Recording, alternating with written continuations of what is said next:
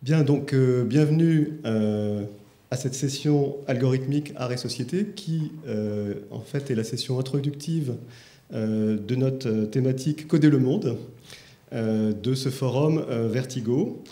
nous avons eu hier une session sur les humanités numériques intitulée Coder, décoder la connaissance. Et aujourd'hui, donc, cette session Coder le monde qui va se dérouler toute la journée d'aujourd'hui et toute la journée de samedi est consacré à la thématique de l'exposition qui va s'ouvrir demain, Coder le monde, et qui s'intéresse donc aux usages du code et de l'algorithmique dans l'art et dans la création artistique. Donc l'enjeu de cette session introductive, c'est d'ouvrir une réflexion théorique, euh, épistémologique, historique sur les rapports euh, contemporains entre euh, création artistique et code. Donc quelques, quelques éléments de, au sujet de cette thématique. D'abord, lorsqu'on parle de coder le monde, il s'agit d'abord de euh, s'intéresser aux représentations numériques du monde physique, dans la mesure où euh, une grande partie de la création artistique euh, s'instancie par, par, des, par, des, artefacts matériels. Et donc, ça pose la question de la représentation numérique du monde. et de manière corollaire, la création artistique est aussi contrainte par les possibilités de captation, mais aussi de rendu, de matérialisation de ces, ces données. Et euh, par exemple, bah, j'ai à l'esprit par exemple l'ouvrage de Razia Reichardt qui, est ici, donc The Computer in Art, et, ce qui m'a beaucoup frappé, donc c'est un ouvrage euh, qui est paru en 1963, qui était un des premiers ouvrages sur les arts numériques, et ce qui est vraiment frappant, c'est à quel point l'art de l'époque est conditionné par les possibilités de production, d'impression, c'est-à-dire qu'à l'époque on pouvait imprimer euh, sur du papier avec des caractères alphanumériques, et, ça a évidemment fortement euh, conditionné l'expression artistique. Et, c'est toujours valable puisque euh, beaucoup plus récemment, euh, on voit l'émergence, par exemple, d'œuvres imprimées en 3D, et c'est seulement très récemment que des artistes ont eu accès à des possibilités d'impression 3D de différents matériaux, alors que la modélisation 3D existe depuis plusieurs années en informatique. Alors le code, c'est euh, évidemment la modélisation des données, mais c'est aussi la modélisation de calcul. Il y a, euh, ces deux aspects dans, le code. Et, donc il y a euh, la possibilité d'une modélisation du monde, pas seulement en termes de données, mais également en termes de modèles qui vont modéliser donc un phénomène à partir de données d'entrée et qui va donner des données de sortie, donc un modèle qui va pouvoir être formalisé de manière algorithmique dans l'ordinateur. Et on pourrait dire que l'artiste peut se saisir de tels modèles, donc qu'on pourrait qualifier de modèles descriptifs du monde, à des fins de production, donc pour euh, en faire des modèles euh, productifs. Il y a un aspect aussi qui me paraît important de souligner, c'est la spécificité de la perception humaine, puisque nous, nous, percevons le monde euh, avec un corps, donc avec certaines caractéristiques de perception, et il s'agit aussi de maîtriser, de modéliser ces caractéristiques. Alors, il y en a certaines qui le sont, qui sont objectivées, par exemple en musique, le fait que euh, des rapports de fréquence correspondent à des intervalles perçus comme égaux. Donc c'est la problématique de la correspondance psychophysique entre, une donnée, une grandeur physique et un percept. Mais il y a beaucoup d'autres euh, aspects de la psychophysique qui, ne sont pas euh, modélisés et certains qui ne sont pas même connus. J'ai par exemple à l'esprit le, travail du psychologue Paolo Viviani qui a travaillé sur la modélisation du mouvement humain et qui avait démontré qu'un mouvement humain, en fait, obéit à certaines règles cinématiques. C'est-à-dire que si euh, ma main effectue une certaine trajectoire, finalement, la vitesse instantanée au cours de cette trajectoire va être contrainte. Et ça, c'est une spécificité du mouvement humain. C'est-à-dire que si vous avez un robot qui fait la même trajectoire, il n'y aura pas nécessairement la même vitesse sur cette trajectoire. Et, c'est probablement quelque chose qu'un sujet humain euh, perçoit inconsciemment, ce qui fait un caractère vivant d'un mouvement mais qu'on n'a pas nécessairement explicité euh, dans l'informatique. Donc, il y a encore, je crois, beaucoup d'aspects comme ça encore qui restent à découvrir. Alors bien sûr, un, enjeu central, fondamental, c'est euh, le numérique, l'ordinateur comme outil de formalisation de la pensée artistique. Bon, il s'agirait évidemment de définir de manière beaucoup plus euh, précise de, quoi il s'agit, mais en particulier, quelle est la part de régularité dans l'art? Et, donc, quelle est la part de calculabilité dans la production artistique.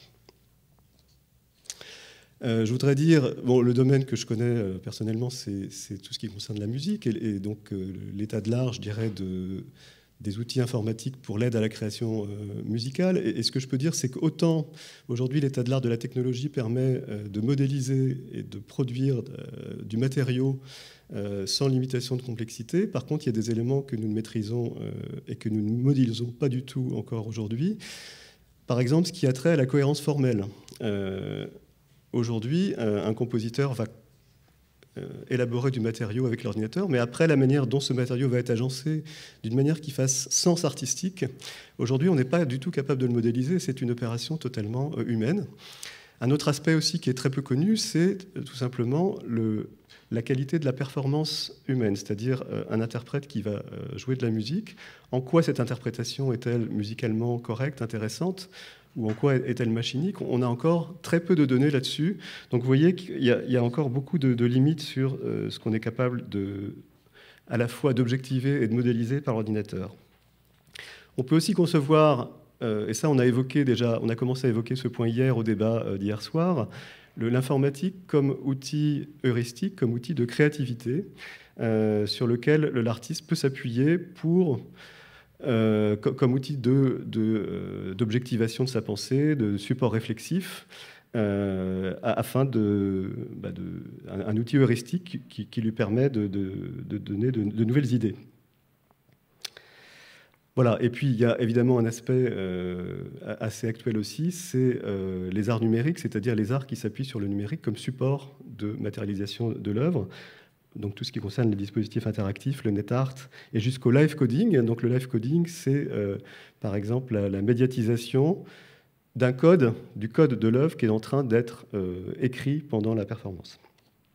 Voilà, donc je voulais juste tracer quelques euh, éléments pour délimiter le, sujet, donc qui est très vaste. Donc aujourd'hui, évidemment, on ne va pas prétendre même aborder l'ensemble du problème. Donc l'idée, c'est plutôt que nous accueillons des intervenants qui vont chacun développer euh, une perspective, un point de vue particulier sur le sujet. Et donc, euh, nous accueillons euh, Pierre Cassounogues pour la première intervention. Donc, Pierre Cassounogues est de formation philosophique et mathématique. Il est professeur de philosophie à l'Université Paris 8 et coéditeur de la revue Substance. Son travail concerne euh, d'un point de vue général, les relations entre imaginaire et technologie. Il a publié un certain nombre d'ouvrages. Récemment, La mélodie du tic-tac et autres bonnes raisons de perdre son temps, et Les cauchemars cybernétiques de Norbert Wiener.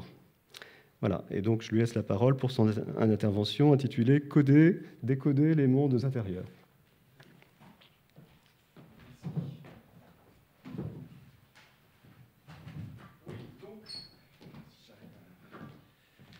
Donc euh, bonjour. Euh, j'ai un peu, voyez, triché sur euh, la question et ou spécifier la question ou la déplacer peut-être pour donc interroger la façon de coder et de décoder les mondes intérieurs à la fois dans la science et quelques œuvres artistiques contemporaines.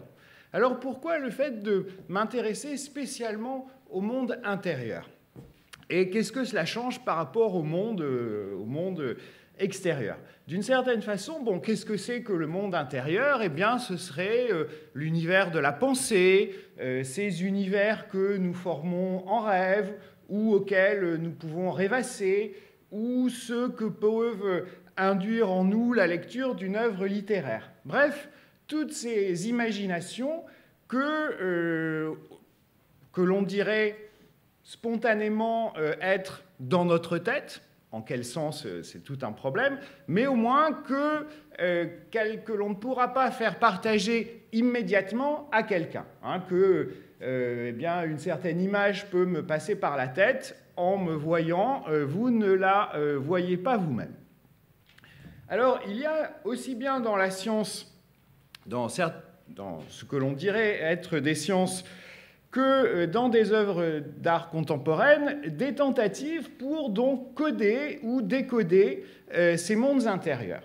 Et la question qui se pose particulièrement, c'est que, à propos des mondes intérieurs, c'est que si l'on compare le monde extérieur au monde intérieur, le monde extérieur, peut-être que nous ne le connaissons pas parfaitement, bien entendu, mais en gros, on le partage euh, on sait à quoi il ressemble, il est dans l'espace, les objets sont situés les uns par rapport aux autres dans l'espace et dans le temps. On a une idée, peut-être imparfaite, mais au moins commune, euh, de ce qu'est euh, de la structure du monde extérieur.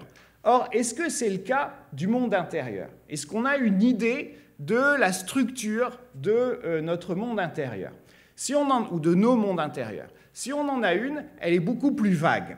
Et dans le fait de la représenter que ce soit de la représenter scientifiquement ou de la représenter dans une œuvre d'art, dans une œuvre d'art, cette structure, on la fixe. Hein. On la fixe et peut-être même qu'on la réalise et qu'en fait, on efface le monde intérieur dans sa réalité immédiate. Hein. Et c'est ce point qui m'intéressera et ce point qui euh, fait ou ne fait pas la différence entre le problème de coder ou de décoder le monde extérieur et celui de coder ou de décoder le monde intérieur, que lorsque l'on représente le monde intérieur, on peut peut-être effacer le monde, le monde, intérieur dans sa réalité immédiate.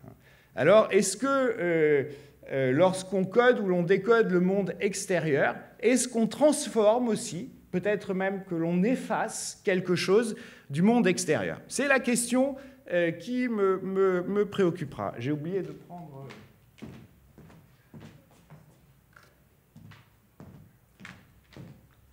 Ok, donc d'une certaine façon, il y a toujours eu des représentations artistiques des mondes intérieurs, des, des, des tableaux représentant par exemple des rêves. Hein.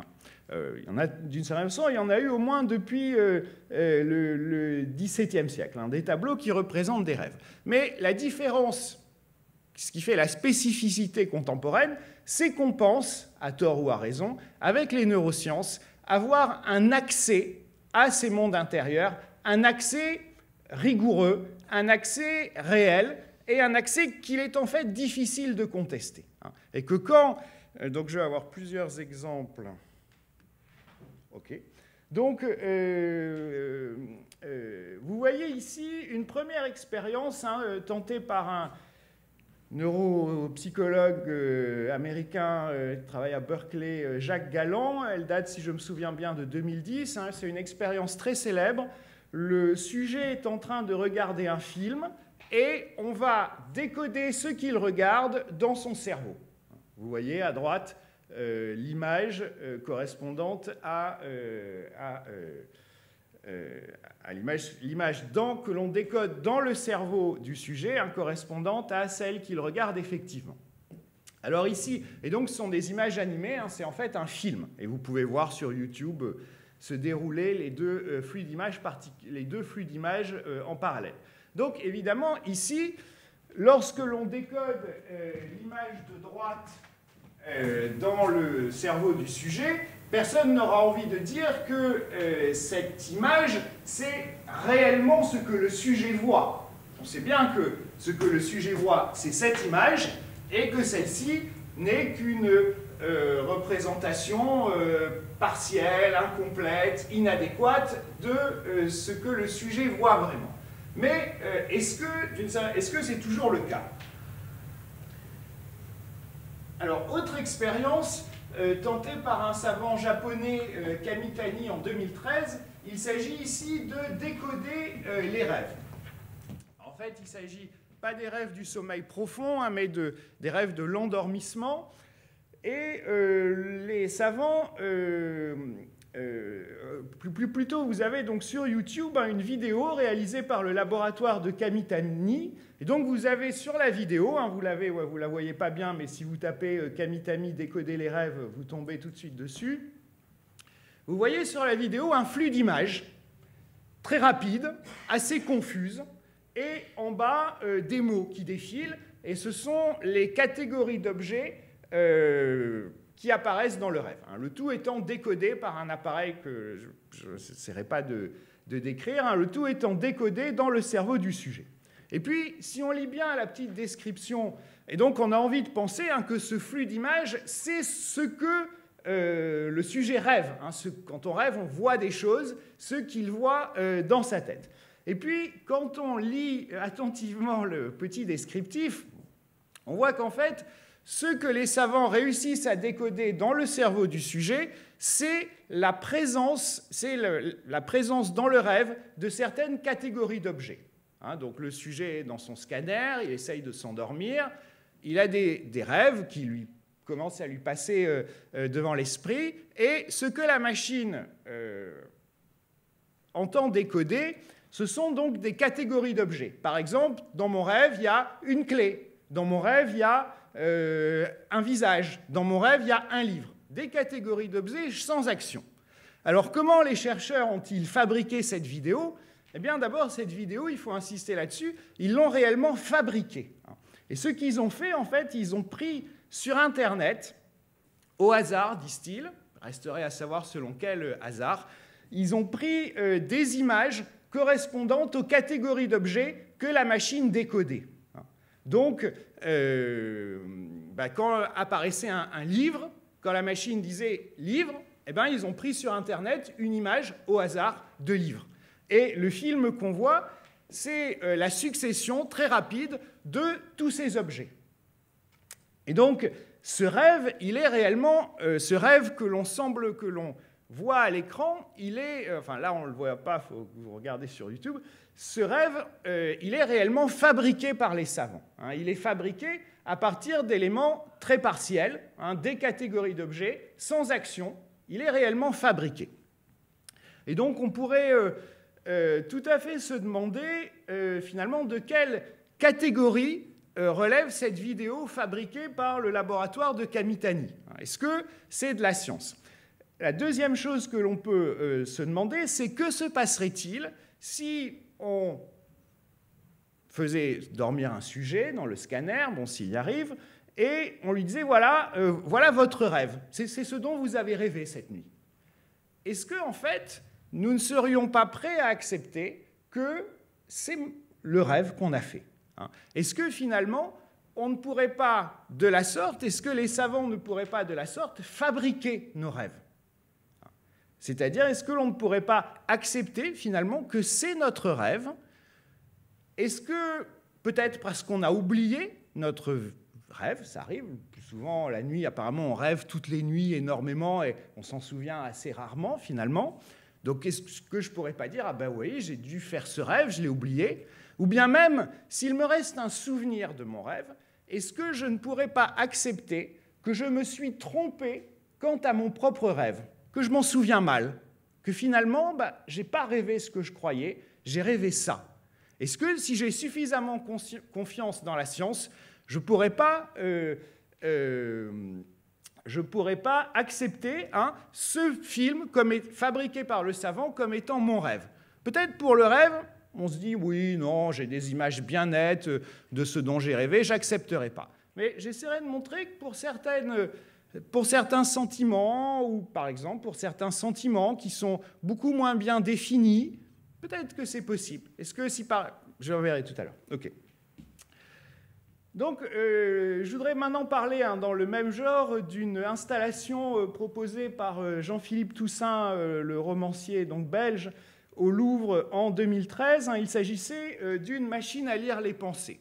Donc, la machine à lire les pensées était installée dans une espèce de cabine hein, qui ressemble à une cabine de douche. Comme vous voyez, le sujet porte un casque à électroencéphalogramme. Il est en train de lire les rêves et la machine est supposée décoder les images, qui lui passent par la tête lorsqu'il est, pendant qu'il est en train de lire euh, ce roman.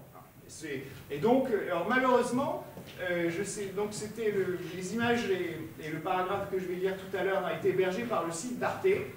ça a tout disparu. Donc, finalement, ah oui, pardon. Ok.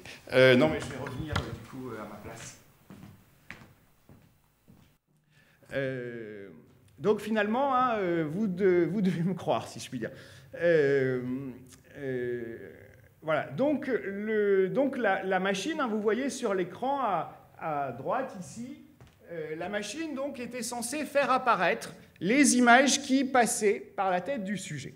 Alors, Jean-Philippe Toussaint a très très peu écrit sur cette installation, Par exemple, c'est toute une exposition au Louvre, hein, mais dans le catalogue de l'exposition, il n'y a pas de texte correspondant à, cette installation. Le seul passage que j'ai trouvé, euh, c'est une interview hein, sur le site d'Arte. La question est, euh, la littérature profite-t-elle de ces technologies? Euh, Philippe Toussaint répond, elle aurait tort de ne pas le faire, c'est parce qu'elle s'y intéresse qu'elle est riche et vivante. L'installation de la salle 23 montre comment la réflexion sur la lecture peut s'enrichir de ses moyens technologiques. C'est une machine à lire dans les pensées installée dans une cabine de douche. Dans cette cabine, il y a un siège, un casque à électrodes relié par un amplificateur, lui-même relié à un écran sur lequel les gens pourront voir ce qui se passe dans leurs pensées lorsqu'ils sont en train de lire. Ce n'est pas tout à fait réel, c'est un leurre scientifique qui rappelle que la lecture est une activité cérébrale intense. On ne l'exprime jamais assez clairement, et je voulais profiter des avancées technologiques pour le mettre explicitement en scène. Alors, euh, Jean-Philippe Toussaint, dans ses romans, est souvent critique vis-à-vis de la technologie, et donc euh, je n'aurais pas envie de prendre ce texte comme étant euh, le reflet de sa propre pensée, mais peut-être comme une sorte de proposition que lancerait un narrateur dans, dans, un roman. Alors, le point qui m'intéresse, hein, c'est les gens pourront voir ce qui se passe dans leur pensée lorsqu'ils sont en train de lire. C'est très bizarre. Hein. C'est très bizarre. Euh, ce qui se passe dans mes pensées, je le vois, puisque c'est dans mes pensées. Les images qui me passent par la tête pendant que je suis en train de lire un roman, je les vois, je les vois dans ma tête, hein. euh, par définition en quelque sorte. Et donc, qu'est-ce que ça veut dire Que les gens pourront voir à l'écran ce qui se passe dans leurs pensées. Hein. Et euh, euh, hein, voilà, voir à l'écran ce qui se passe dans sa tête. C'est bien ce que dit euh, euh, dans leur pensée. Ok. Bon, bref, comment donc voir à l'écran ce qui se passe dans sa tête? La phrase de, Toussaint, elle n'a de sens que si on accepte que la réalité de ce qui se passe dans ma tête, je ne le vois pas dans ma tête, je le vois à l'écran. Donc c'est exactement le même problème que celui qu'on voyait avec Kamitani, hein, c'est-à-dire que la science, ou le cas échéant euh, ici l'art qui, mime euh, une, œuvre artistique qui mime la science, eh bien, elle peut fabriquer un monde intérieur. Elle le fabrique et nous sommes prêts à y croire. Et pour moi, euh, l'installation hein, de, Toussaint met parfaitement en évidence un espèce de changement idéologique ou un changement imaginaire, c'est-à-dire que nous sommes prêts à accepter que les neurosciences, elles déterminent la réalité de notre monde intérieur, alors même qu'elles le fabriquent. Et en ce sens-là, donc, euh, je veux vraiment insister sur le point, c'est pour ça que je le répète deux fois, pour être sûr que ce soit bien mis en évidence, hein, que ici, il s'agit bien de fabriquer un, monde intérieur et que nous sommes prêts à accepter cette fabrication comme euh, donnant la réalité de notre monde intérieur. Et euh, bon, il faut quand même euh, ajouter une chose hein, euh, que souligne Toussaint, hein, c'est que ce n'est pas tout à fait réel, c'est un leurre scientifique. La machine de Toussaint ne marche pas. en fait, il faudrait, elle ne marche pas. Il faudrait un, scanner à IRM fonctionnel et pas le simple casque à en électroencéphalogramme. Mais comme vous, avez vu avec les, les, expériences précédentes, elle est tout à fait dans la ligne de ce qui se fait dans les neurosciences. Elle les imite très bien et on pourrait parfaitement imaginer euh, une expérience de neurosciences qui va euh, dans le même sens. Ah oui, euh, alors, si j'ai bien compté, hein, il me reste cinq minutes à peu près. OK. donc là encore, hein, Ok, je vais passer euh, sur euh, la, critique que, fait Toussaint de la technologie dans le roman euh, la, télévision. Le deuxième point sur lequel je veux insister, c'est que finalement, si les neurosciences ou des, œuvres d'art qui les miment sont capables de fabriquer nos mondes intérieurs, ça veut dire qu'il n'y a plus de monde intérieur. Hein, que ce que nous appelons le monde intérieur, c'est celui qui va pouvoir nous être montré sur nos écrans. Il y a une chose de Proust, euh, je voudrais en donner un exemple avec, euh, en discutant hein, d'une œuvre de Grégory Chatonsky, euh, Memory Center, donc, qui date, si je me souviens bien, de 2014. Donc, dans cette œuvre, Chatonsky donc fait lire, donc s'appuie sur des bases sur des bases de données de 20 000 rêves, un recense, fabriqués par, enfin, mis en ligne par l'université de Californie. Et donc Chatonsky fait lire à une voix, à une voix synthétique un rêve, le récit d'un rêve, et puis à un mot aléatoirement choisi, euh, la machine va passer à un autre rêve qui euh, euh, prend le même mot. Hein. donc, c'est-à-dire, si la machine lit Je me trouve dans une pièce, je cherche ma clé, à clé par exemple, la machine va passer à un autre rêve où figure le mot-clé. Donc, elle lit ses rêves et pendant ce temps-là, elle choisit sur Internet, là encore supposément au hasard, des images qui correspondent à des mots-clés dans les rêves, et elle les projette sur les écrans. Donc vous voyez, le dispositif est très très proche de celui euh, de Kamitani, hein, sur la vidéo euh, euh, dont, je parlais. Et la question, ce serait de savoir, est-ce que finalement on ne pourrait pas voir dans cette machine une machine à lire ou à fabriquer nos rêves Ce n'est pas la façon dont Chatonsky le voit. Chatonsky le voit comme une machine qui rêve. Mais ce qui m'intéresse, c'est cette ambiguïté de savoir si on ne pourrait pas y trouver nos rêves. On pourrait imaginer, par exemple, certaines transformations dans euh, le dispositif. On pourrait imaginer qu'au lieu que le passage d'un rêve à un autre soit choisi par, euh, au hasard, on pourrait imaginer qu'on entraîne la machine avec un algorithme d'apprentissage. On proposerait à des sujets de s'installer dans cette installation et puis de signifier à la machine oui quand le fil semble euh, ressembler à un rêve, et puis non quand ça ressemble pas à mon rêve. Puis la machine donc apprendrait à partir de cet entraînement. Est-ce qu'elle n'apprendrait pas à créer des rêves humains hein Et ce qui est intéressant dans le fait de euh, la faire procéder au hasard, c'est que cela permettrait de mesurer finalement l'étendue de notre confiance dans la machine. Est-ce que même quand la machine procède au hasard, bon, à partir de rêves humains, mais qu'elle les lit au hasard, est-ce que nous pouvons adhérer aux rêves qu'elle fait et y reconnaître nos rêves qu'elle aurait fabriqués? Euh, donc, euh, il s'agit hein, d'une application que vous pouvez trouver sur. Ici, j'ai pris sur l'App Store parce que c'était plus facile à prendre la photo, mais vous l'avez sur l'Android Store aussi. Donc, c'est Cogito Compagnon. c'est une application de santé mentale. Euh, donc, euh, cette application, en fait, euh, elle existe, hein, vous pouvez vraiment la prendre. Elle va donc utiliser un certain nombre de données issues de votre téléphone portable. Donc, elle utilise votre géolocalisation, elle utilise l'accélératomètre, en fait, pour voir si vous faites du sport, hein, puisque si vous courez, ça, ça accélère. Euh, donc elle reconnaît aussi si vous êtes dans un bar. Euh, qu'est-ce qu'elle fait d'autre? Et puis, quand vous parlez au téléphone, elle analyse votre voix. En fait, euh, c'est fait par une entreprise hein, qui s'appelle Cogito et qui a fait, qui a fait, qui a gagné en faisant un logiciel pour améliorer les services, les téléservices, hein, les, les, services clients ou les services après-vente en analysant la voix de l'employé et la voix du client pour donner des conseils à l'employé. Lui dire, euh, fais plus ressortir de sympathie, euh, euh, non, là c'est le moment d'être plus ferme.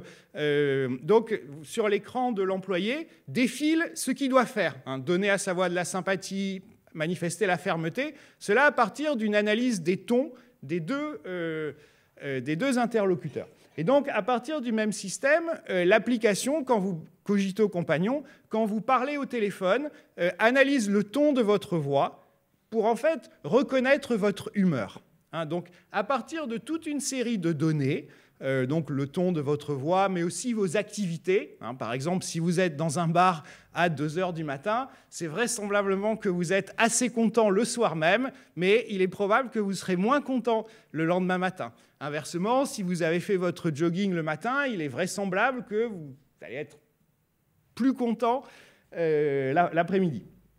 Donc à partir de là, eh bien l'application euh, mesure votre humeur. Hein. Euh, donc vous voyez, voyez ici hein, les, variations de, sur l'écran de droite, vous voyez les variations de votre humeur. Vous pouvez faire ainsi observer les variations de votre humeur au cours de la journée, au cours du mois, au cours euh, de l'année. Et donc, on est là encore dans un, système hein, qui... Euh, est-ce que l'on peut dire qu'il devine votre humeur ou est-ce qu'il vous la fabrique hein? Est-ce que finalement, si l'on croit à l'application, si l'application me dit aujourd'hui Pierre, tu es content, est-ce que je ne vais pas le croire?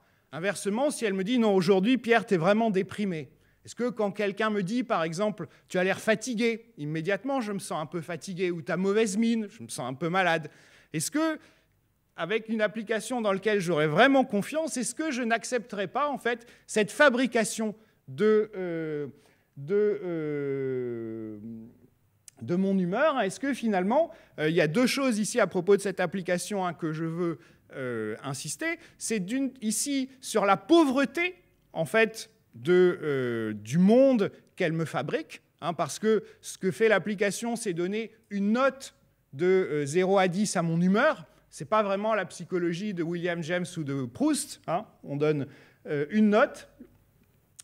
Euh, il y a d'autres applications hein, qui représentent votre humeur sous la forme d'une émoticône dans un alphabet de 7 émoticônes. 7 émoticônes, hein, ça fait là encore, c'est pas.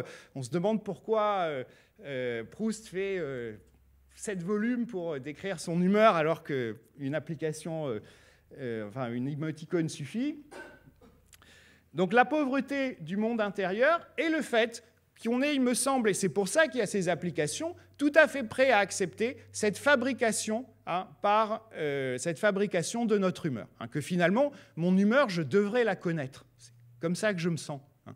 Euh, qu'on est prêt à, l'accepter, euh, à l'accepter par la machine, et que donc cette idée de coder, de décoder le monde intérieur, c'est nous fabriquer d'autres mondes intérieurs. Et vraisemblablement des mondes intérieurs qui sont plus pauvres que ceux que nous pouvions avoir.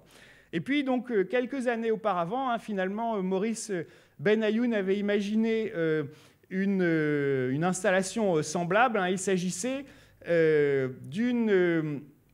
d'un bulletin prévoyant euh, les émotions. Hein. Euh, Maurice Benayoun, donc c'est un petit film. Maurice Benayoun reprenait euh, tout le style du bulletin météorologique sur des chaînes comme CNN, sur, comme CNN mais sauf que ce qu'il s'agissait de prédire, c'était les émotions sur différentes parties de la planète. Hein. et donc, on, sur l'image, défilent nos différentes émotions. Hein. et, et ce que finalement cette installation n'est pas très proche de l'application précédente, à savoir qu'il s'agit, euh, sinon de prévoir, au moins de réaliser hein, un certain nombre d'émotions. Et peut-être que si nous voulons que nos émotions, si nous acceptons, finalement si nous désirons, de multiples façons en sponsorisant aussi bien les neurosciences que Cogito Compagnon. Hein, on sponsorise les neurosciences par nos impôts, on sponsorise Cogito Compagnon lorsqu'on appelle Orange ou, un autre opérateur qui utilise Cogito Compagnon. Est-ce qu'en acceptant finalement euh, est-ce que si on accepte finalement cet appauvrissement et, cette fabrication de nos mondes intérieurs, ce n'est pas justement euh, par une sorte de peur qui euh, continuerait euh, d'augmenter. Je vous remercie. Je dis, finalement, ça, évoque un effet pygmalion des neurosciences sur les mondes intérieurs, en, positif ou en négatif. Oui, alors pour, euh, pour moi, c'est une. Euh, oui, il y a le rapport effectivement d'affection à la machine. Hein, ça fait partie du jeu, à savoir qu'on accepte que les machines nous fabriquent ainsi ce monde intérieur parce qu'on les, on les aime.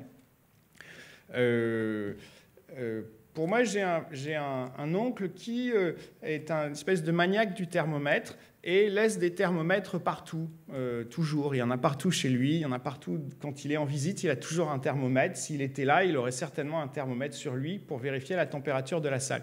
Je me suis beaucoup interrogé pourquoi.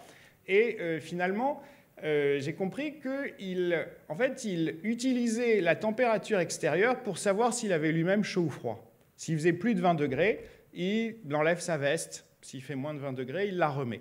C'est-à-dire qu'en fait, il ne sait... Et vous avez plein de gens qui, qui font ça avec le téléphone portable et qui, en sortant, vont allumer leur téléphone portable pour regarder la météo, voir quelle température, quel temps il fait. Et c'est finalement euh, confier à la machine le soin de décrypter, décoder notre expérience intérieure. Et, pourquoi on fait ça? Sans doute en fait par une sorte d'angoisse. C'est que le fait de confier à la machine le soin de me, de me dire mon humeur, c'est euh, ou de me lire mes rêves, c'est en fait éliminer toute incertitude. Le plus souvent, on est dans une espèce d'incertitude vis-à-vis de nos propres états. Est-ce qu'aujourd'hui je suis content ou pas content? Comment je me sens?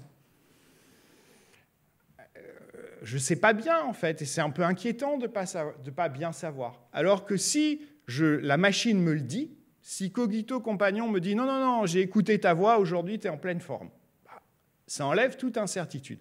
Et donc, pour moi, c'est surtout cette question de l'incertitude et de l'angoisse que l'on veut éliminer par en laissant euh, la machine nous fabriquer un monde intérieur. Et le point sur lequel, euh, voilà, par rapport à la question du monde extérieur, est-ce qu'il y a quelque chose de spécifique dans le, monde intérieur ou non? Est-ce que lorsque l'on fabrique d'autres mondes, par exemple euh, dans, le, dans les jeux vidéo, est-ce qu'on ne va pas, d'une certaine façon, effacer ou renforcer certains aspects du monde extérieur?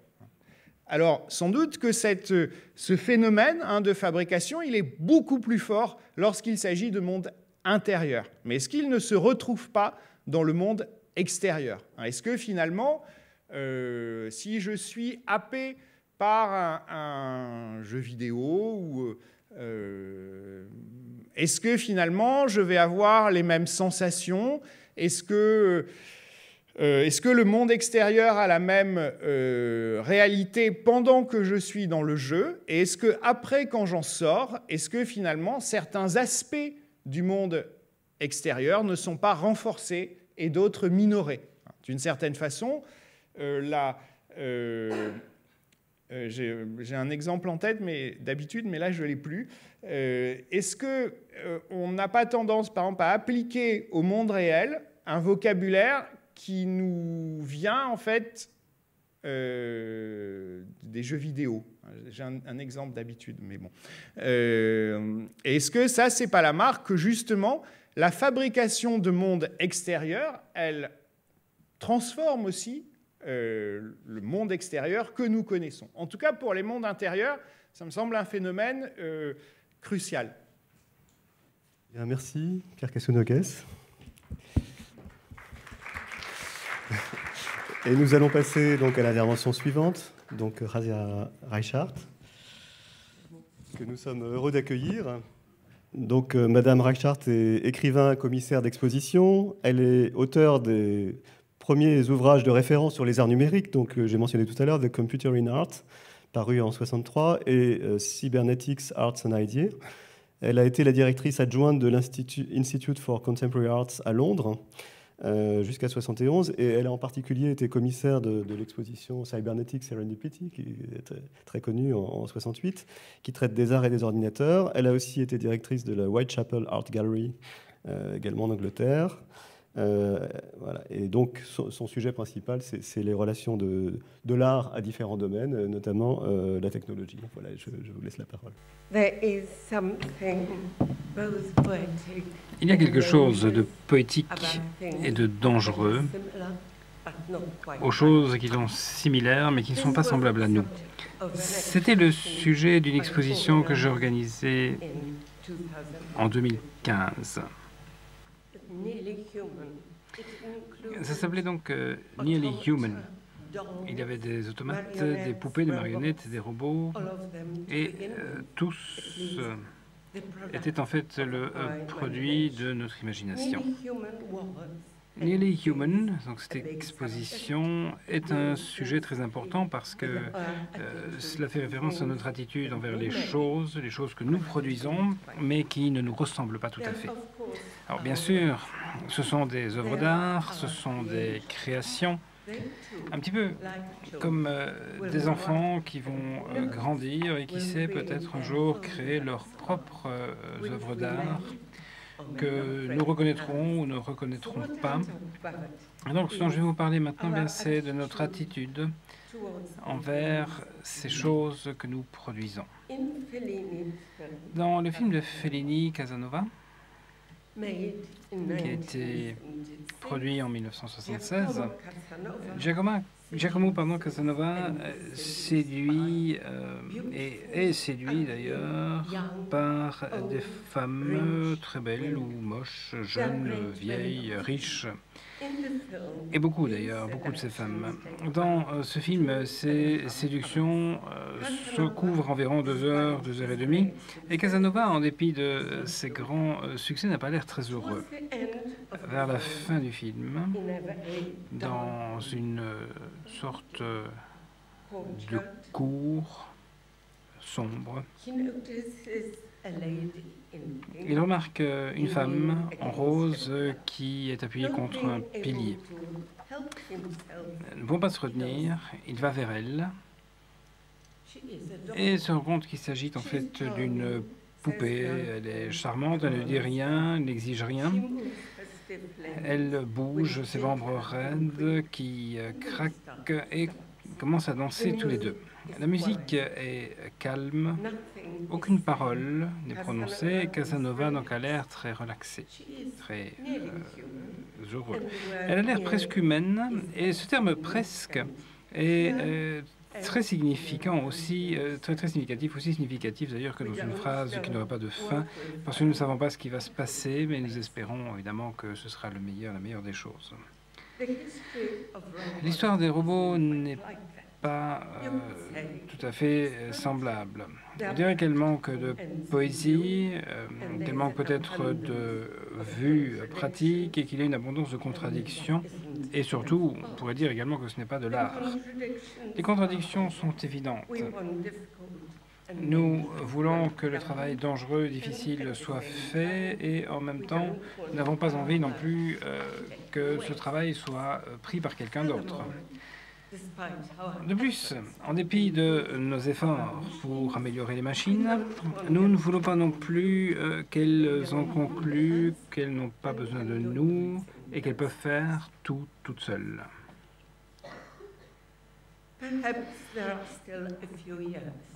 Il faudra peut-être encore quelques années pour euh, savoir précisément ce qu'il conviendra de faire. Et d'après Martin Rees, qui se trouve à gauche, il nous reste environ 25 euh, ans.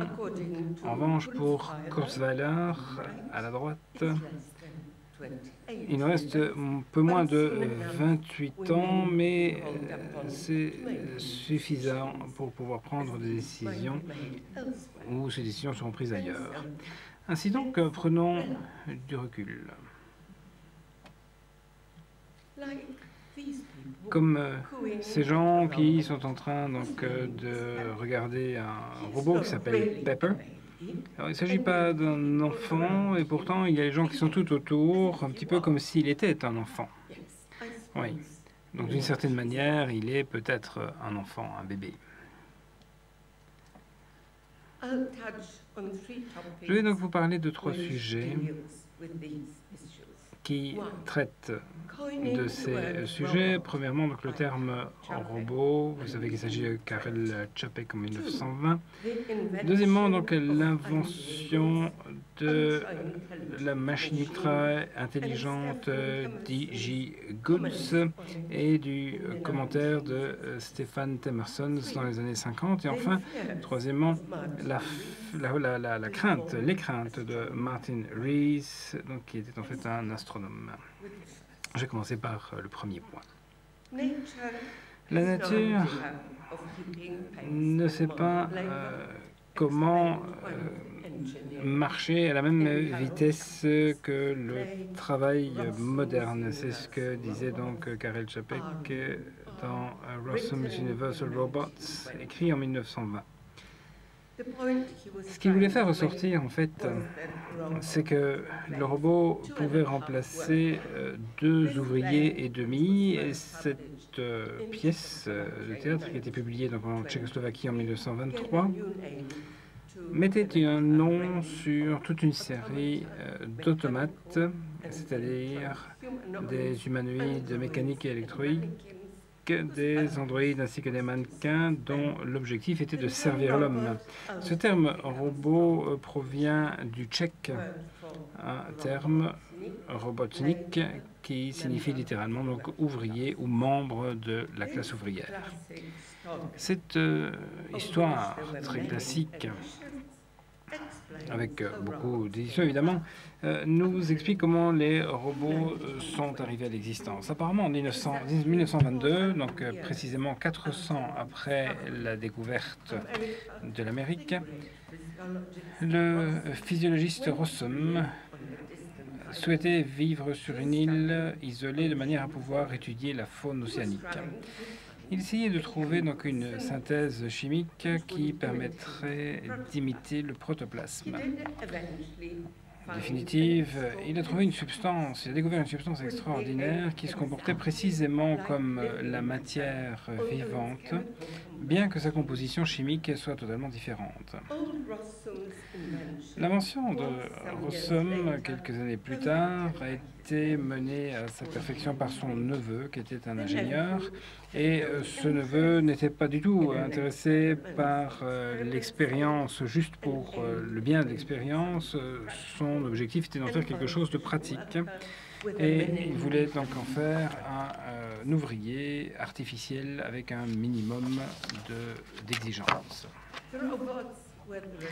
Les robots donc euh, sont le résultat de cette euh, expérience. Ils ont été fabriqués euh, en différentes variantes. Ils coûtaient 150 dollars, ce qui voulait dire donc, ce qui voudrait dire aujourd'hui donc 1900 dollars ou 1900 euros d'aujourd'hui. Et ils avaient une durée de vie de 20 ans, donc ils étaient vendus par milliers de manière à pouvoir travailler euh, la terre, pouvoir travailler également dans des euh, entreprises dans le monde. Et finalement, ils ont été utilisés comme soldats. Après euh, de nombreuses années et quelques expériences irresponsables par un scientifique qui voulait leur donner une conscience, ces armées robotisées ont décidé de se révolter et plutôt que de combattre pour les humains, ils ont décidé de combattre cette fois contre les humains. Les robots donc ont conquis le monde. Mais le problème, c'est qu'ils étaient euh, extrêmement bien euh, conçus, ils étaient développés, et pourtant ils ont compris qu'ils étaient en fait euh, très indépendants de l'être humain Néanmoins, ils ne savaient pas comment pouvoir en produire plus. Les documents originaux avaient été détruits et ils n'étaient pas capables de se reproduire. Les seuls êtres humains, le seul être humain, donc un vieil homme qu'ils avaient épargné, ne pouvait pas les aider. Et au cours des dernières minutes de la pièce, le dernier humain survivant euh, assiste à une situation sans précédent qui laisse penser qu'un robot femelle et un robot mâle, ou un robot femme, un robot homme, sont euh, tombés amoureux. Et ce qui est très intéressant, c'est que le premier, les premiers signes de leur comportement euh, inhabituel est le rire. Et c'est à ce moment-là que l'homme, le vieil homme, comprend que les robots ont évolué euh, et se sont éloignés énormément de l'image humaine, mais aujourd'hui, donc, il y a une espérance de survie. Cette pièce de théâtre suggère que les hommes également, donc, étaient passés par une évolution semblable et qu'ils étaient eux-mêmes des robots auparavant.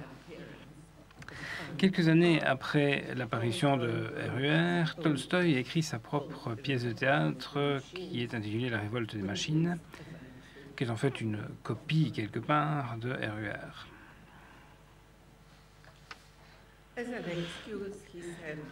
Il s'en est excusé en disant qu'après tout, Chapek avait également copié les idées de la littérature anglaise et française, citant notamment donc Frankenstein et L'Ève future.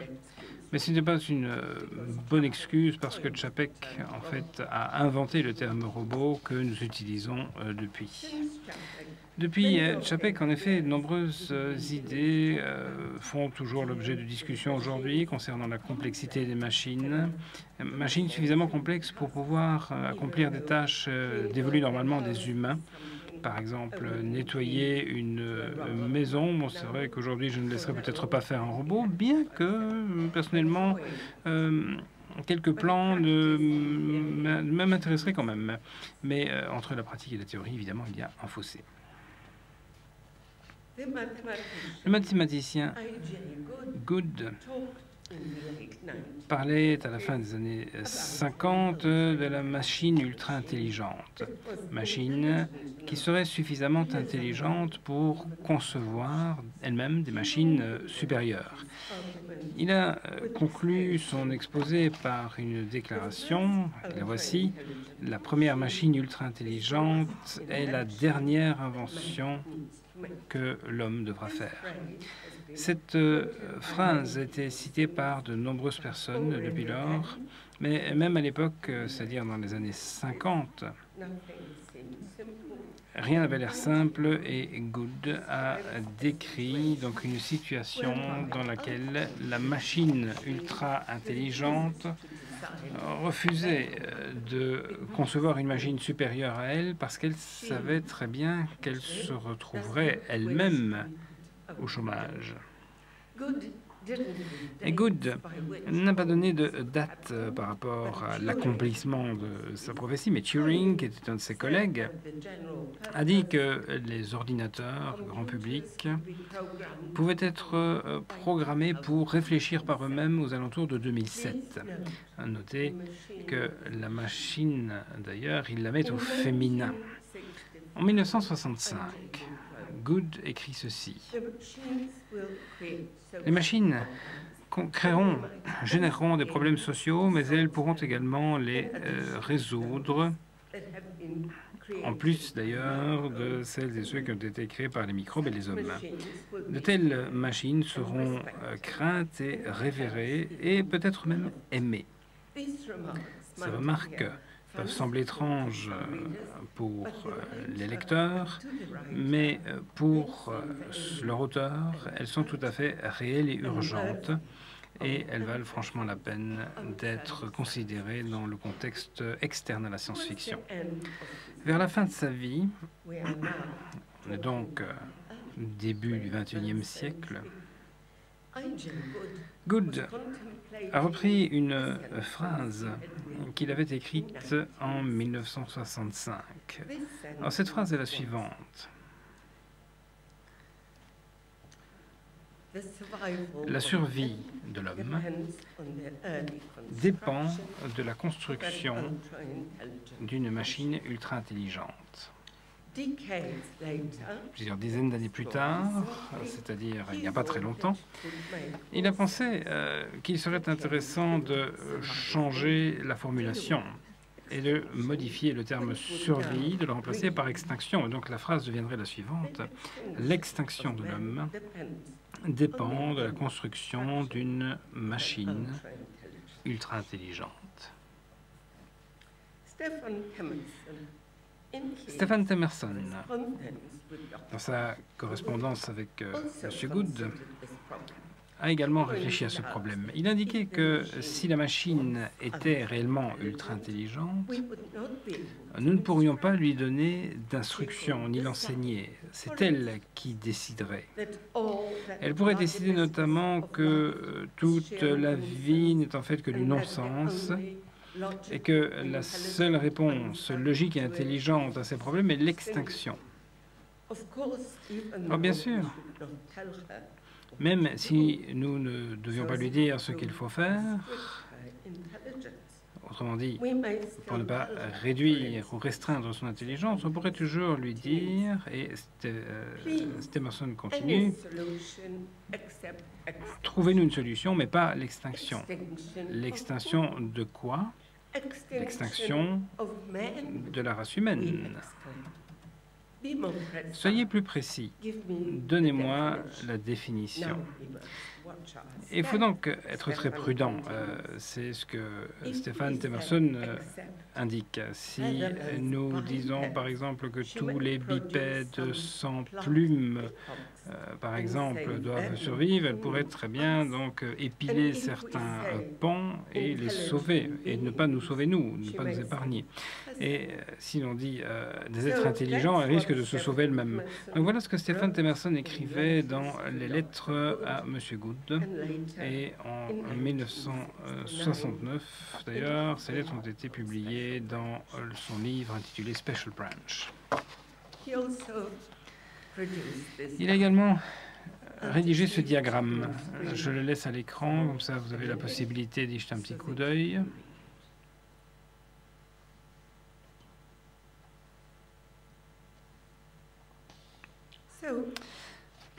Alors, que devons-nous faire? Comment peut-on donner à cette machine les moyens dont elle a besoin pour faire preuve de décence. C'est ce que Temerson euh, disait. On peut essayer de mettre en place un code d'éthique, euh, code d'éthique qui serait applicable à l'intelligence artificielle pour euh, extrapoler sur les trois lois de la robotique d'Asimov. On pourrait également espérer que la théorie éthique de la machine, telle qu'elle est, est développée dans ses propres lois morales, serait plus efficace que les nôtres. Bien sûr, ça ne fonctionnerait pas parce que la machine ultra intelligente, étant plus intelligente que nous, aurait probablement ses propres notions d'éthique. Et du coup, nous ne pourrions pas savoir précisément de quoi il s'agit jusqu'à ce qu'elle décide de les révéler. Ces discussions ont eu lieu donc euh, au siècle dernier, à la fin des années 50, en 1968. Nous étions impressionnés quand un ordinateur pouvait répondre à des questions. Par exemple, quelle est l'incidence du terme rose dans la comédie divine de Dante?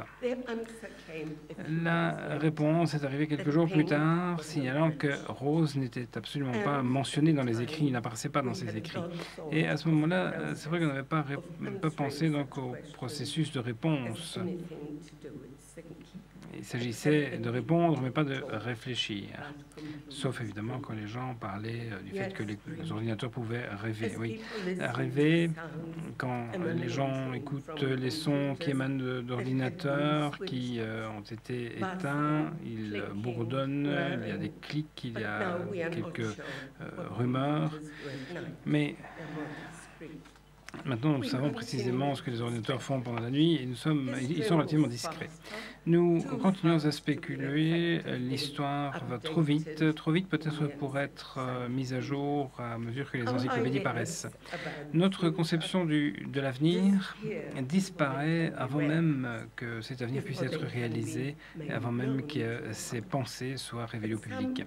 D'une certaine manière, nous euh, finirons probablement par arriver à cette euh, singularité technologique, c'est-à-dire qu'à un moment donné, nous ne pourrons pas aller euh, plus loin ou réfléchir plus loin qu'elle. Kurzweil anticipe euh, là-dessus puisqu'il nous dit que ce sera en 2045 que ça se produira. Et donc à partir de maintenant, nous savons que l'ordinateur, la possibilité, la, la puissance de l'ordinateur double quasiment tous les deux ans. Donc avant de remplir tout l'espace autour de nous, donc nous pouvons nous contenter de quelques améliorations simples. N'a pas réfléchi à tout cela quand il a envoyé donc euh, le robot qui euh, lui ressemblait pour pouvoir le représenter donc lors des dîners euh, auxquels il ne voulait pas participer. Les nouveaux robots nous ressemblent, enfin, si on ne se met pas trop près. Martin Rees, spécialiste du cosmos, astronome se pose des questions et fait référence à l'avenir comme étant donc une post-singularité ou une époque post-humaine. Dans le livre euh, publié en 2004 et qui s'intitule Notre dernier siècle, la civilisation survivra-t-elle au XXIe siècle? Le titre contient un point d'interrogation. Néanmoins, l'éditeur, malgré les protestations de l'auteur, a décidé de retirer le point d'interrogation. L'accent était beaucoup trop fort, mais cinq ans plus tard, euh, ce livre est réédité. Et cette fois-ci, le, point d'interrogation original était remplacé par un point d'exclamation. Les avis changent. Certains euh, futuristes euh, n'anticipent peut-être pas le pire. Martin Riss, cependant, se pose des questions. Il dit en effet ceci. Nous sommes de plus en plus dépendants des réseaux informatiques du fait que euh, ceci serait à un moment donné capable de réfléchir comme un cerveau avec des objectifs qui pourraient être contraires au bien-être humain. Même euh, celles et ceux qui euh, ne réfléchissent pas à cette singularité, donc s'attendent peut-être à de nouvelles innovations, plus en plus d'innovations d'ailleurs en biotechnologie, nanotechnologie et en sciences. de l'information. Il peut s'agir d'entités robotiques avec une intelligence suprahumaine. Et il ne faudra pas beaucoup de siècles pour y arriver. L'intelligence post-humaine, qu'elle soit donc sous la forme organique, ou euh, sous la forme de euh, produits de euh, fabrication dont l'évolution serait autonome, permettra le développement d'hyper-ordinateurs avec des processus, des possibilités de processus qui leur permettraient de simuler donc les êtres vivants. Même ce type de super-intelligence existe déjà quelque part dans l'univers. Mais où dans l'univers? Mais en fait, qui euh, sait peut-être au-dessus de nous, dans une autre dimension. Il y a euh, trois points qu'il convient de considérer. Le premier, c'est qu'il faut établir, mettre en œuvre des droits civiques pour les robots, pour nous protéger nous, mais également j'espère que ce n'est pas trop tard. Quand j'ai mentionné cela à l'université, tout le monde euh, a souri, mais euh, je ne suis pas sûr qu'ils souriaient parce qu'ils trouvaient ça amusant, ou plutôt parce qu'ils étaient embarrassés, parce que personne n'y a pensé plus tôt. Deuxièmement, il, peut déjà, il pourrait déjà y avoir des évolutions au sein des systèmes informatiques que même des experts en intelligence artificielle ne comprennent pas. Donc, a fortiori, euh, nous ne pouvons pas les comprendre non plus. Donc, on pourrait euh, proposer des cours dans lesquels les ordinateurs deviendraient des professeurs et ils pourraient également donc expliquer comment et pourquoi ils sont arrivés à certaines conclusions. De notre côté, bien sûr, nous voulons connaître leurs projets d'avenir si ceux-ci, évidemment, peuvent être révélés. Enfin, il y a une question importante. Les systèmes informatiques, les robots, le code, pourront-ils inventer leur propre divinité? Les nôtres sont à notre image. En quoi consisteront les leurs? Pourra-t-il s'agir euh, d'une ligne de code, d'atomes ou bien ont-ils déjà ces divinités? Si nous ne connaissons pas leur divinité aujourd'hui, c'est peut-être tout simplement parce qu'ils ne veulent pas nous ennuyer avec cela. Nous pouvons être un problème, un obstacle aux nouvelles technologies. Et euh, peut-être sommes-nous déjà un problème. Et donc, je voudrais vous raconter une petite histoire. Et cette histoire se passe euh, dans l'avenir. Je l'ai trouvée. Je ne sais pas qui l'a écrite, mais elle s'intitule Histoire pour Clara. et elle date de 2103. Euh, papa, papa, est-ce que je peux avoir un chien pour mon jour de création? Mais euh, tu as un chien. Oui, mais je veux un chien naturel. Mais tu as un superbe petit chien intelligent qui coûte très cher, avec de l'or, de l'argent, et tu n'auras pas de chien naturel. Oui, mais tu as dit que quand j'arriverai dans quel âge de deux mois, je pourrais avoir un beau cadeau. Pourquoi est-ce que je ne peux pas avoir un chien naturel? Bien parce que les chiens naturels sont sales, ils puent, et ils doivent être nourris avec euh, des euh, animaux euh, morts, des animaux naturels, qui doivent être cuits tout d'abord, et puis, euh, il leur arrive également de déféquer. Est-ce que c'est suffisant Mais papa, est-ce que je ne pourrais pas avoir une personne naturelle qui s'occuperait de mon chien naturel? De cette façon-là, je ne devrais pas nourrir le chien et quelqu'un d'autre euh, pourrait faire tout le nettoyage et euh, la désodorisation également. Papa, s'il te plaît, je sais que tu peux m'obtenir un chien naturel avec euh, un soignant naturel spécialisé parce que tu peux tout faire. Je sais que tu peux. Tu as deux usines de création et nous avons euh, des tas de personnes qui peuvent faire euh, tout ce qu'ils veulent, tout ce qu'elles veulent, donc tous ces naturels qui sont autour de nous. Oui, mais tu es encore trop jeune pour comprendre euh, ce point, mais en fait, nous nous entendons pas vraiment bien avec les naturels. Ils ne sont jamais satisfaits, on s'occupe d'eux, on veille également à ce qu'ils ne veulent surtout pas travailler, et aujourd'hui c'est eux qui veulent travailler. Le problème, c'est que le fait de supprimer les odeurs et de nourrir les chiens naturels, ce n'est pas le type de travail qu'ils ont envie de faire.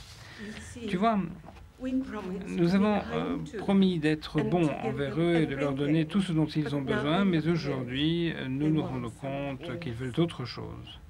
Et que veulent-ils, euh, Daddy? Papa Eh bien, ce qu'ils veulent, c'est surtout ce qu'ils ne veulent pas, en fait, qui pose le problème. Et c'est-à-dire, mais c'est-à-dire qu'ils ne veulent pas de nous. Et donc, est-ce que tu veux un autre chien créé Et oui, euh, papa. Je voudrais bien qu'il soit vert avec un tatouage en forme de papillon. Bien, voilà, je pense avoir terminé cet exposé.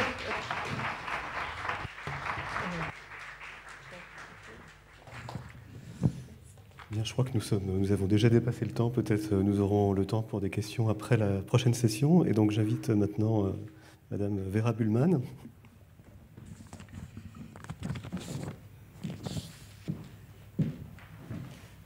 Donc euh, Vera Bullman est auteure, philosophe et professeure d'architecture. Elle est professeure en théorie de l'architecture et directrice du département philosophie des techniques et théorie de l'architecture à l'Université de technologie de Vienne. Euh, elle a publié euh, un, certain nombre d'ouvrages, euh, dans ses ouvrages récents Printed Physics, Domesticating Symbols, Code as Literacy, Symbolizing Existence. Et elle, va publier prochainement un livre. Elle a été fortement influencée par la philosophie de Michel Serres. Et elle va prochainement publier un livre monographique à son sujet, qui va s'intituler Information et mathématiques dans la philosophie de Michel Serres. je vous donne la parole. Merci beaucoup. the floor. Merci pour m'avoir représenté et pour m'avoir invité ici. C'était une belle. Merci pour votre présentation également. C'est une belle euh, histoire conclusive.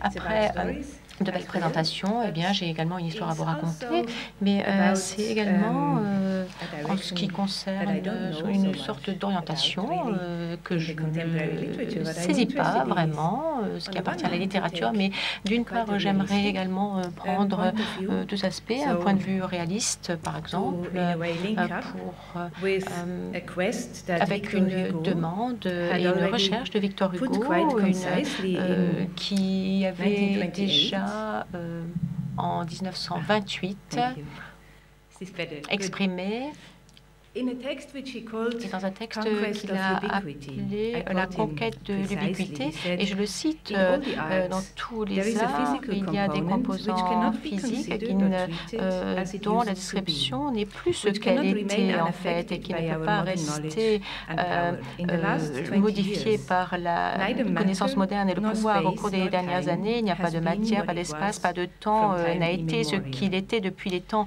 immémoriaux. fin de citation. Et je pense que je pense qui est remarquable à ce sujet, eh bien, c'est euh, ce qu'il dit en fait. Euh, il parle de composants physiques. Et donc j'ai un, un, ensemble de slides qui ne permet pas trop euh, d'illustrer, mais sont des petits cristaux comme ça que je pose. Et puis euh, euh, j'essaie de donner une information qui est physique, mais d'une certaine manière une explication également métaphysique de mes propos. Donc je voudrais um, relier tout ça avec l'intérêt, une sorte, une sorte de mysticisme réaliste, si on peut um, dire. Et puis puis, euh, comment Michel Foucault a parlé également de, la lumière, euh, et je pense que c'est très important. La lumière, ou le siècle de lumière n'est pas une, un, moment, n'est pas euh, une époque, c'est plus une attitude, c'est une sortie, c'est une manière d'échapper, d'échapper de l'absolutisme. Et je pense que c'est ce qui a déclenché un peu mon intérêt. Euh,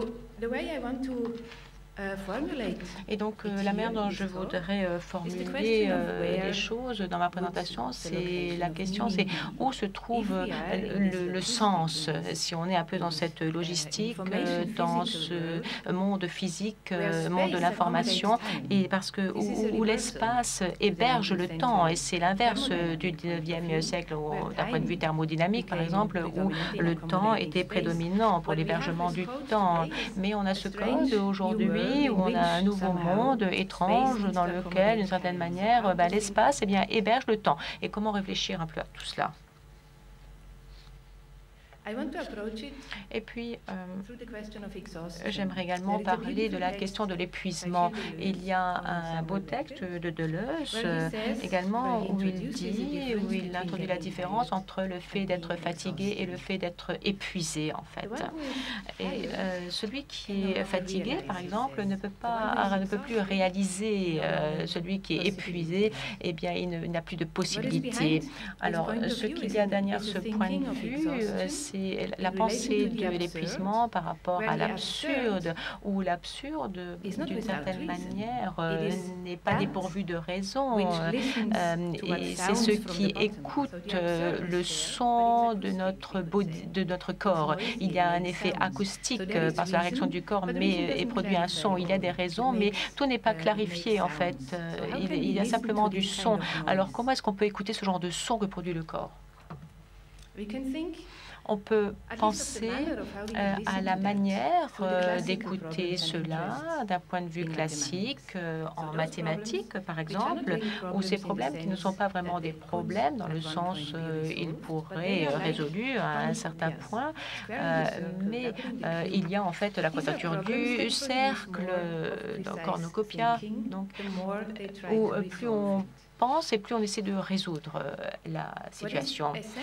Alors, ce qui est essentiel pour euh, cette manière de réfléchir en termes de mathématiques euh, ou de la pensée claire ou bien le, fait de saisir un peu l'absurde, vous aurez une manière d'être plus ou moins confortable, de sentir plus ou moins à l'aise avec la manière algébrique de penser dans l'algèbre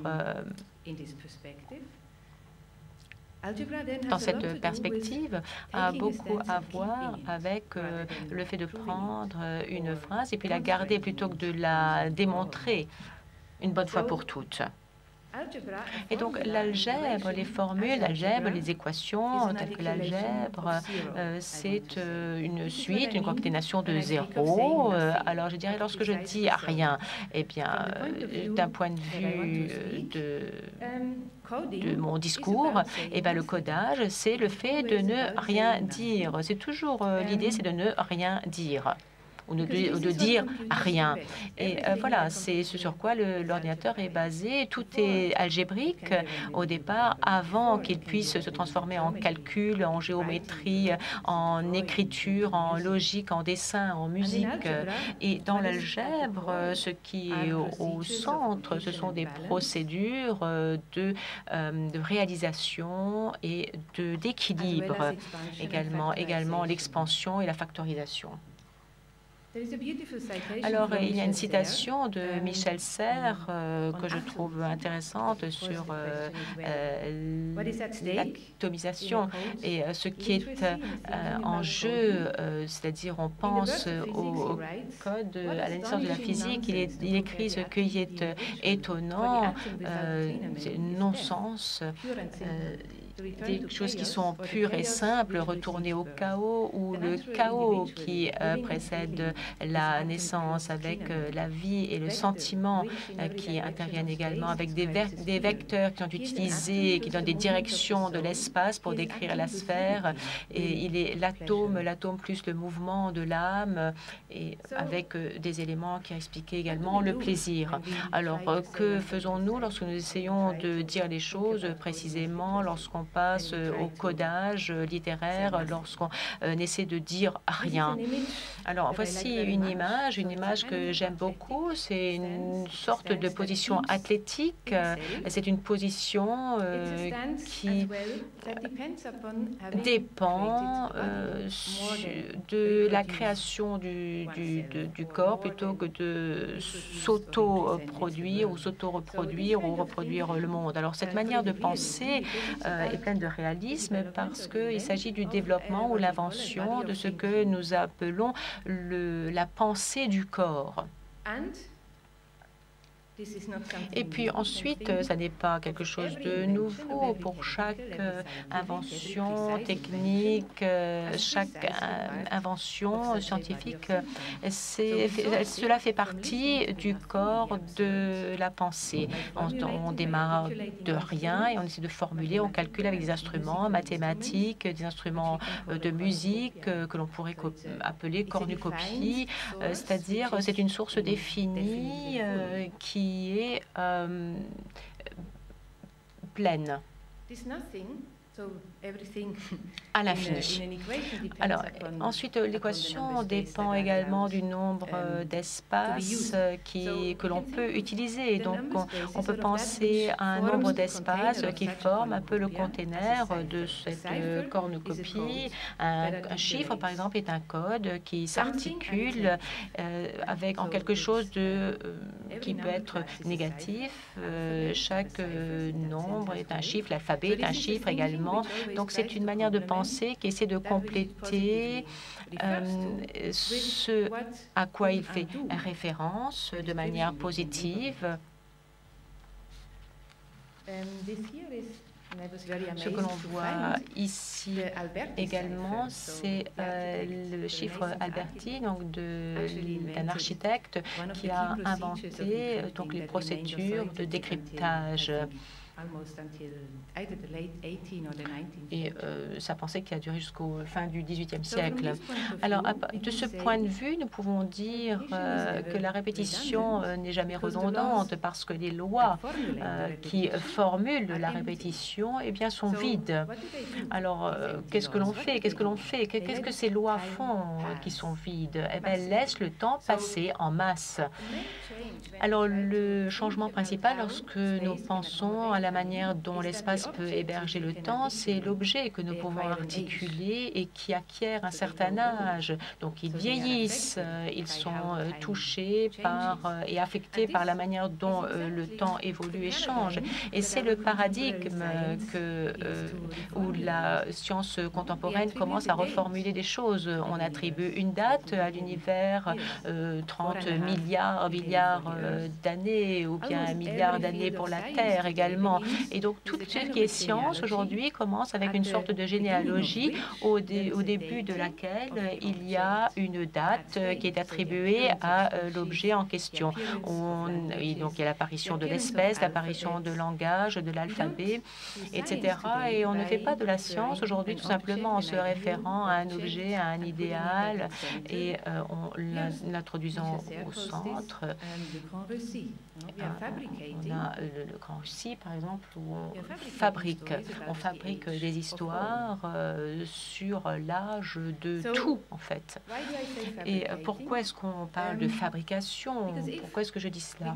Parce que si l'on essaie de réfléchir, de penser à ce processus de vieillissement, euh, précisément, si on essaie de procéder de la sorte avec des, taux, des outils mathématiques qui sont absurdes ou qui semblent être absurdes, qui sont précis, ce que nous avons besoin, c'est une traduction euh, en prenant la géométrie qui traduit à partir de l'harmonie euh, en géométrie et en mécanique. Donc c'est une sorte de manière de penser, c'est une belle perspective parce qu'on peut atteindre de façon relaxée différents temps que nous connaissons. On a le temps Newton, le temps que l'on peut renverser, on a le temps thermodynamique avec l'entropie universelle avec le, cycle Carnot. Et puis ensuite, nous avons le temps darwinien, euh, une sorte de transformation linéaire euh, du temps. Et euh, nous pouvons donc, avec ces traductions d'un espace de nombre, en passer de l'harmonie à la géométrie, eh bien, on peut s'intéresser à cette temporalité sans avoir à décider de, du dominant. Et c'est ce que nous essayons euh, de saisir en inventant cette idée, c'est-à-dire ce que nous faisons, c'est nous créons un corps à penser. Euh, qui permet, avec un sensorium, où nous extériorisons les sens, euh, nous extériorisons cette, ce raisonnement algorithmique, et puis euh, en pensant à tous ces éléments qui caractérisent notre monde, notre monde qui calcule, euh, non pas comme une représentation du monde, mais en représentation de l'intelligence naturelle, mais comme une articulation de l'intelligence naturelle qui est nôtre et que nous euh, comprenons euh, mieux que d'autres intelligences que nous ne maîtrisons pas. Mais on peut apprendre davantage. Alors, euh, nous pouvons, par, en s'intéressant de cette manière, le problème n'est pas de savoir comment le monde change radicalement. Les, les... Ce qui est intéressant dans le passé, le passé semble tout à coup être abandonné, on ne, garde, on ne le conserve pas, on ne le purifie pas, on ne le raffine pas, euh, on ajoute des choses en fait. Donc on apprend de tout ce qui nous reste, qui a été documenté. Euh, les traces qui nous restent euh, n'ont pas été conservées. En pensant à l'objet si nous souhaitons une sorte de produit et de penser à un objet comme étant un produit pour lequel nous avons besoin de réinventer les instruments qui les ont fabriqués. Et ça, la réinvention de l'instrument qui les a produits, euh, par là, nous pouvons donc penser à l'âge et intéresser à l'âge de cet objet aujourd'hui. Donc, on peut euh, voir comment euh, ils sont nés, comment ils existent. On a des aspects négatifs, des aspects positifs avec cette, ce processus d'équilibre permanent.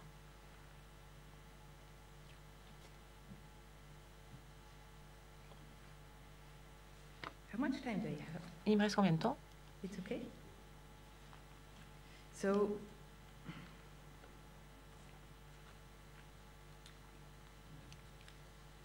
but I would, yeah, maybe there are. No.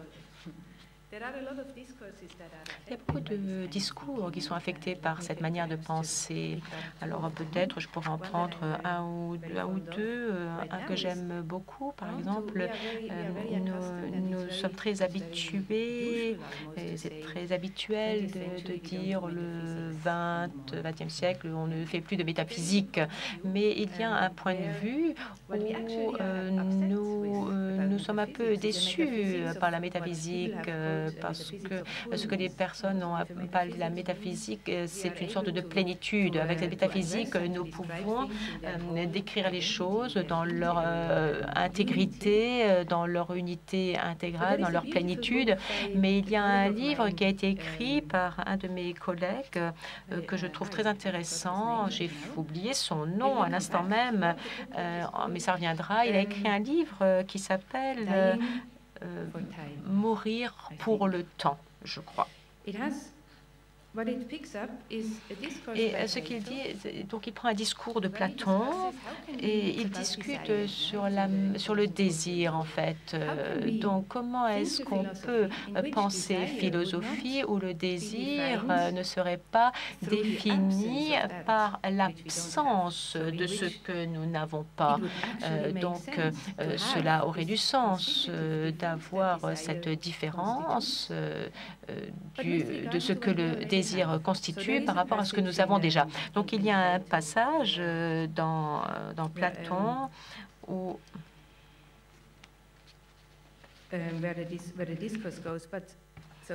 oui, il utilise un discours. Euh, si on entend quelqu'un dire euh, je me porte bien et je veux être en bonne santé, je, je suis riche et je veux être riche, et en fait, je veux euh, tout simplement ce que j'ai déjà. Et donc, je pense que nous devrions justifier les choses en disant cher monsieur, vous avez de la richesse, vous avez la santé déjà, et ce que vous souhaitez, c'est tout simplement continuer à le posséder parce que pour le moment, vous les avez, que vous le souhaitiez ou non. Mais est-ce que cela ne ressemble pas à la situation où lorsque vous dites lorsque vous voulez quelque chose ici maintenant, ça veut dire effectivement que ce que vous avez maintenant, eh bien, vous voulez continuer à le garder et à le conserver à l'avenir.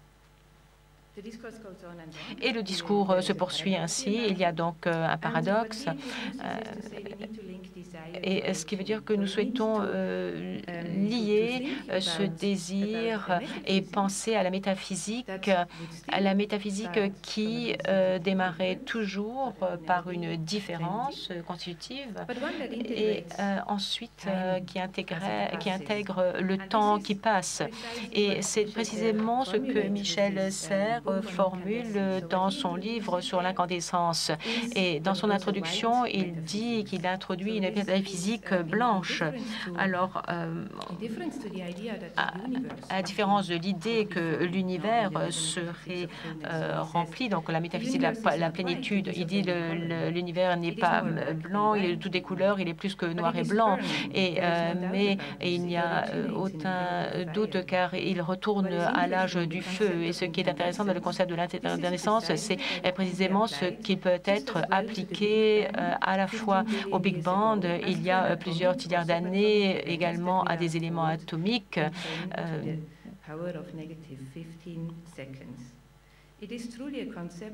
Avec euh, certaines puissances euh, négatives. Et cela a à voir avec la dimension du temps. Alors lorsque nous disons que nous souhaitions une sorte de métaphysique qui est blanche, parce que le, blanc n'est jamais plein, n'est jamais rempli, euh, il y a plusieurs couleurs qui sont appliquées. Ça n'est pas rien, parce que c'est n'importe, c'est tout et rien, c'est tout en même temps. donc,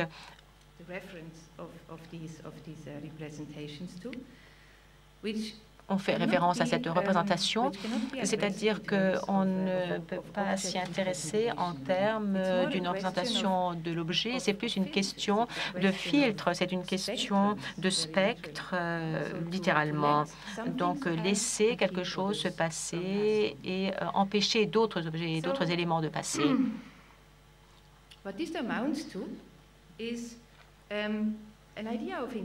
Alors il y a également euh, l'idée de l'intellectualisation, une, euh, forme naturelle d'intellectualisation euh, où on parlerait de ceux qui pensent de la même manière que nous parlons du, de la météo, d'après Michel Serres. de la même manière qu'on dit il pense, de la même manière que l'on dit il pleut, par exemple. Donc c'est une vision abstraite mais euh, cela nous lie à la manière d'être exposé, à une manière de penser qui n'essaie pas d'exprimer notre, notre soi, mais on essaie de capturer euh, la représentation d'un objet. Et les mots sont une sorte de position acrobatique euh, qui subsiste par l'intégration, par l'apprentissage de penser, l'apprentissage à penser. Et si en ce qui concerne l'œuvre d'art, euh, cela se résumerait à dire comment est-ce qu'une pièce, une œuvre d'art peut être créée par euh, l'informatique ou par d'autres moyens, euh, dans ce sens où nous, nous, disons, nous ne disons rien, mais à la fin, l'œuvre doit être signée.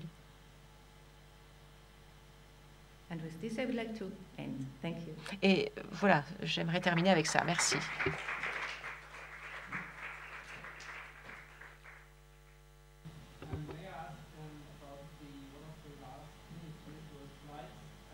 Nous n'entendons pas le micro, euh, pardon, le micro ne marche pas. Le micro, la personne ne parle pas assez. Um, um, alors j'aimerais poser une question euh, sur la dernière image, sur les instruments harmoniques modulaires. Et une des images que j'ai pu voir, euh, c'était euh, un, un, cuivre. Alors est-ce que c'est un exemple, par exemple, d'instruments harmoniques modulaires ou, eh bien, eh bien l'idée, c'est de généraliser l'idée des instruments harmoniques d'un point de vue de la, du principe de la musique.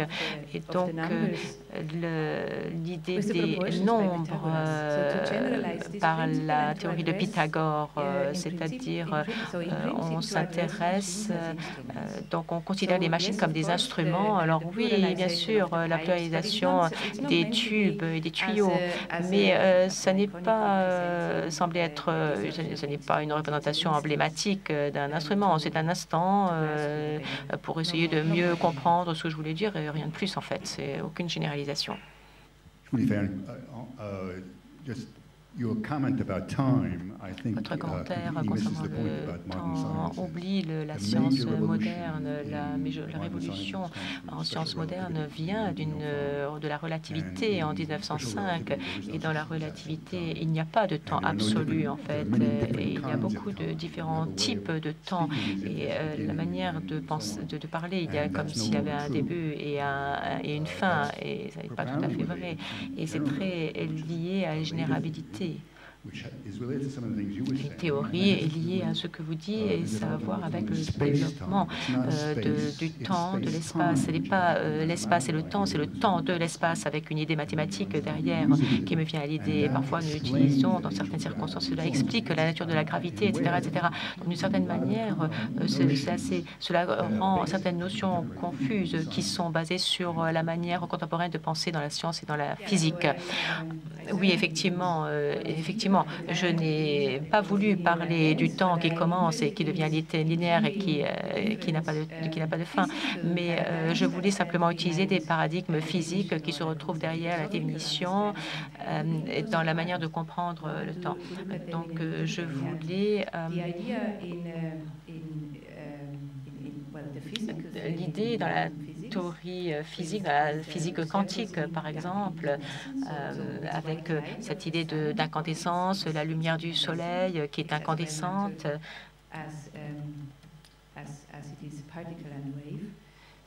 avec des particules et des ondes.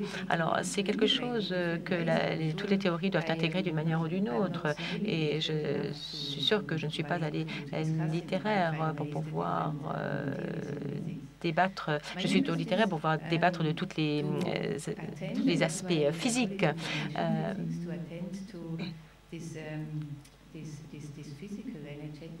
mais il y a cette présence énergétique physique que je souhaite utiliser comme quantité, l'information comme la quantité avec la négatropie, l'entropie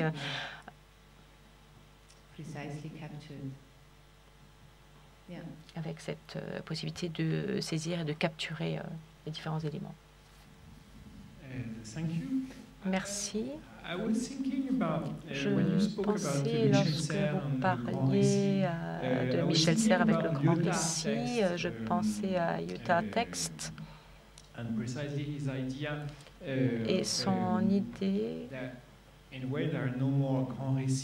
d'une certaine manière, il n'y a pas de grand récit parce qu'il y a plusieurs récits et dans chacun d'eux, il faut parler de la production de la narration. Et pour Utah, par exemple, euh, cela nous met euh, dans une certaine euh, conditions et, qui empêche et qui interdit le grand récit. Et je me demandais donc si pour vous, par exemple, lorsque Michel Serres, euh, euh, quelques années plus tard, en fait, prétend que la science produit le grand récit, et est-ce qu'il crée un grand récit ou bien est-ce qu'il est d'accord avec le grand récit ou est-ce qu'il est d'accord avec Utah, dans le sens où le grand récit de science, il y a donc une sorte, euh, un produit, une production qui s'effectue, donc il n'a pas vraiment de grand récit. Alors est-ce que vous pensez, vous, lorsqu'il pense euh, de, de lorsqu'il mentionne le grand récit,